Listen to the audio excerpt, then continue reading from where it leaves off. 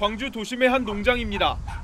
산 언저리에 사육장이 줄지어 있고 개 10여 마리가 경계의 눈빛을 보이고 있습니다.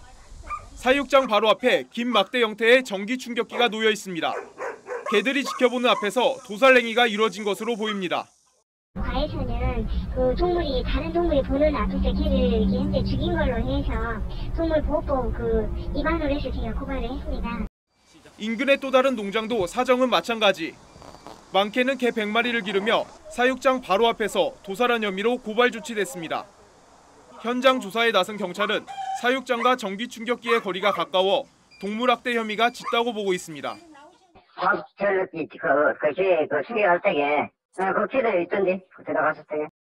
한 농장업주는 개 앞에서 도축하지는 않았다며 혐의를 극구 부인했습니다. 내가 뭐 때문에 동물 학대를 하냐고. 내가 절대 그런 영상 없어. 경찰은 도살 장소가 문제가 된 만큼 두 농장 업주를 불러 동물학대 혐의를 조사할 방침입니다.